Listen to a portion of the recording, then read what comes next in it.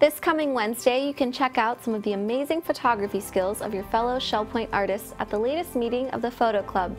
At 2.15 in the Social Center, see how people tackle the February challenge of birds with some of the works being put on display. Then get all the information you need to know about the March's challenge, People. A special video will highlight ways to change your family and friends snapshots into great photos.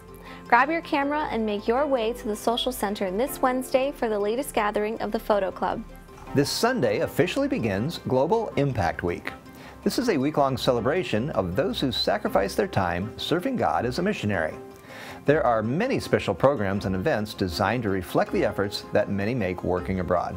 It's been another stellar week for us here at SPTV. We figured this would be the perfect time to take a look back at some of our favorite stories from the past week.